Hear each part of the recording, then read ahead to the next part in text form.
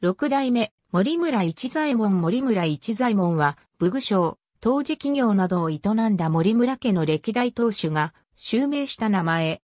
特に、森村財閥の創設者である六代目、一左衛門大正8年9月11日が、有名である。以下では、この六代を中心に説明する。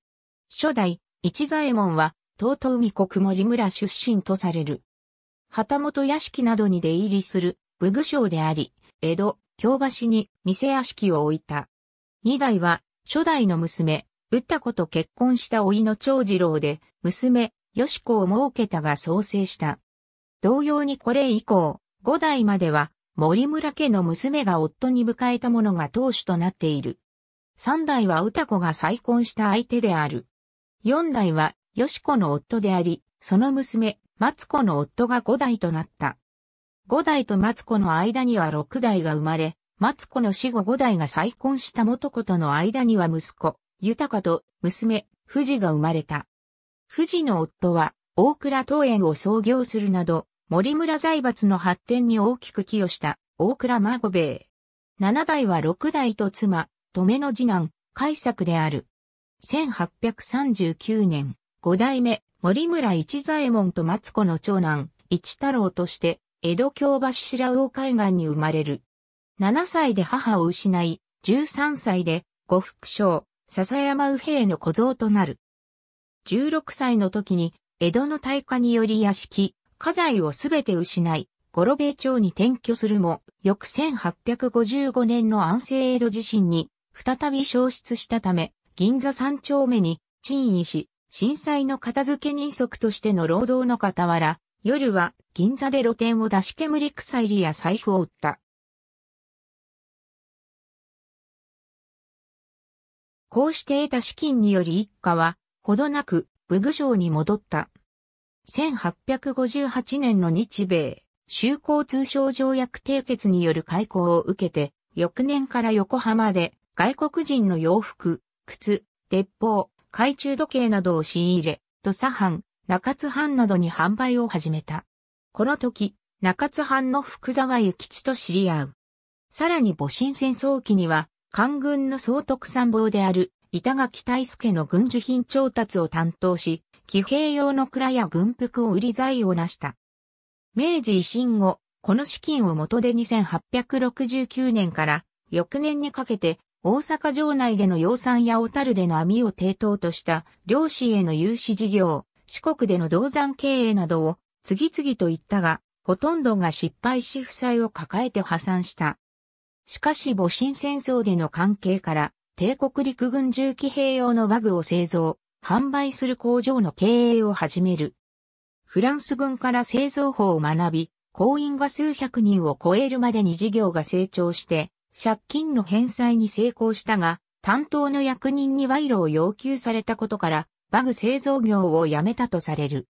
その後銀座で、洋裁店もリムラテーラーを営んでいたが、1876年にイボ邸の森村豊がニューヨークへ渡ることを決めたことから、特命組合森村組を設立した。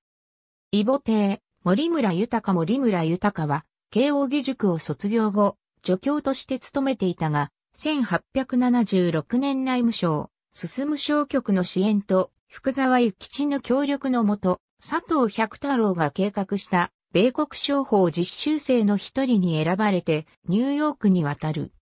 現地の学校で商業、語学を3ヶ月学んだ後、現地で商売をしていた佐藤百太郎と共に日の出商会を設立。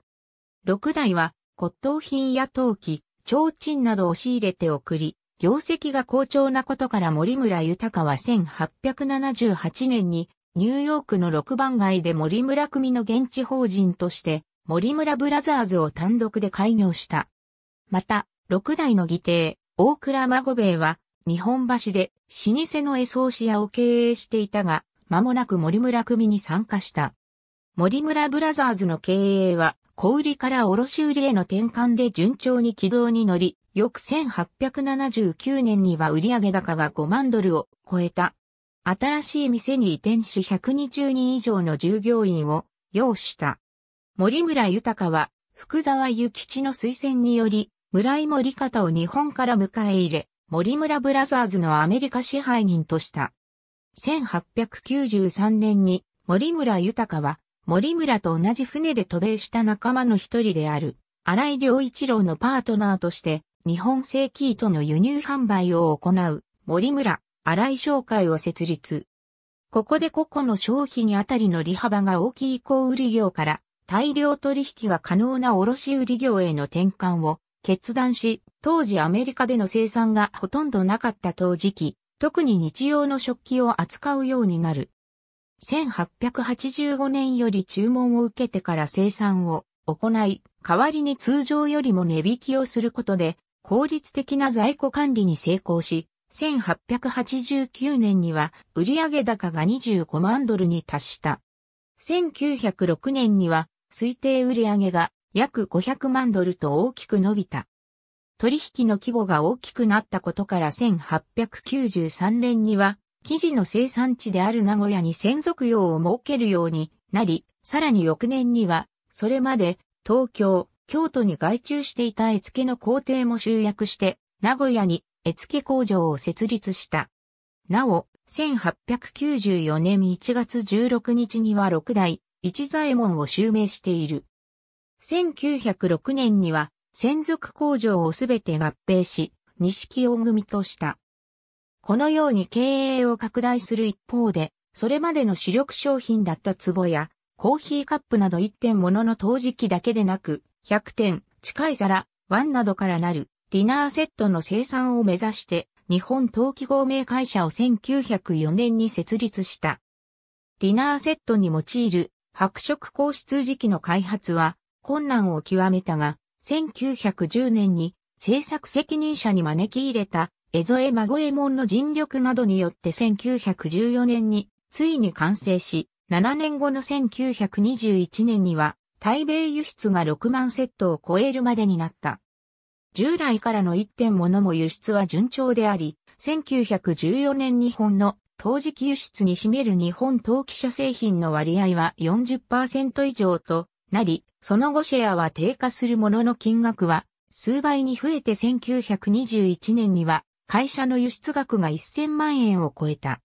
また開発コスト負担の問題などから1909年に組織を見直し、日本陶器が生地を生産し、森村組は絵付けを担当、森村ブラザーズが営業、販売を行うこととなった。さらに1917年から翌年にかけて、それまでの森村組の事業と、陶磁器以外の物品の輸出入を行う森村商事株式会社を設立し、森村組は持ち株会社となった。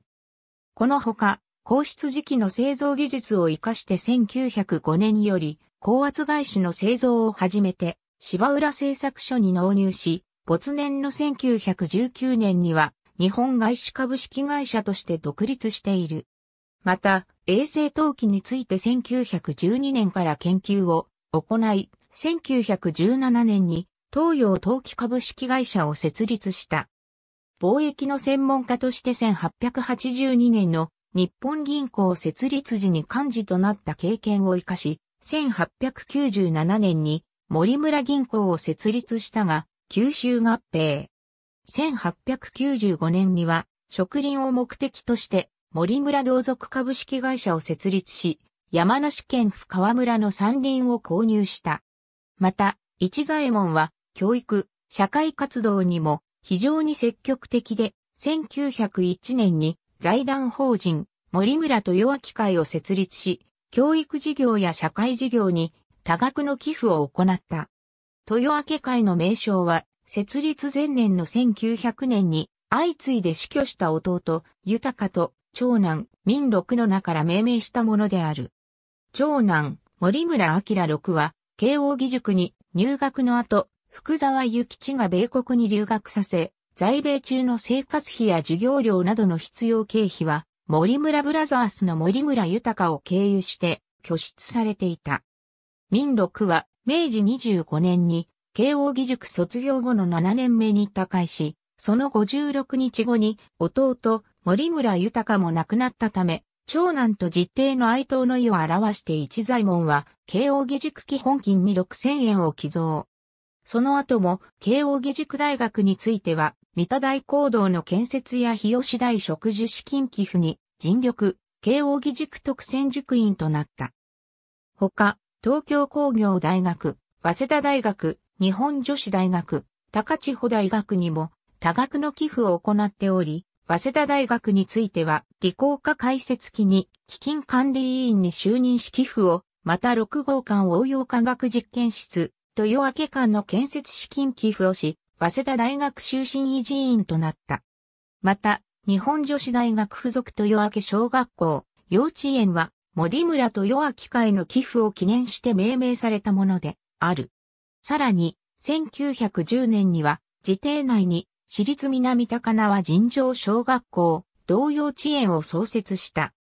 この他にも、北里柴三郎の活動を早くから支援し、1892年に設立された伝染病研究所や北里が伝染病研究所から独立して1914年に設立した北里研究所にも多額の寄付を行った。